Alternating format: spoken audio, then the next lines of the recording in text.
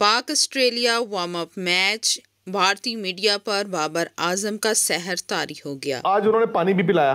और फिर लास्ट पंद्रह ओवर बाबर ने कप्तानी भी की। चार आउट हो गए तो बैटिंग भी करने आ गए बट बट रन उन्होंने मारे। बाबर आज़म और इफ्तार अहमद की पार्टनरशिप के चर्चे। और ये चाचा भतीजा की जोड़ी इतना ज़्यादा डेंजरस अब दिखने लगी है। पाकिस्तान ऑस्ट्रेलिया से वार्म अप मैच हारा लेकिन लड़कर हारा। मैंने 152 का स्ट्राइक रेट था बाबर आज़म का और क्या बल्लेबाजी की है। पाकिस्तान क्रिकेट टीम के बारे में कुछ भी कहना मुश्किल है। क्या पता कुछ अलग टर्न अप कर जाए। पाकिस्तान से मैंने एक चीज़ एसोसिएट करी है भाई कि वो सरप्राइज़ कर देते हैं। अभी उनकी चाहे कितनी उड़ रही हो। टीम है कोई भी टीम को हरा देती है हाँ कोई भी किसी भी टीम से हार जाएगी। ये लेकिन दिलचस्प बात यह है कि Pakistan cricket team world cup में कौन से सरप्राइजेस लेकर आ रही है।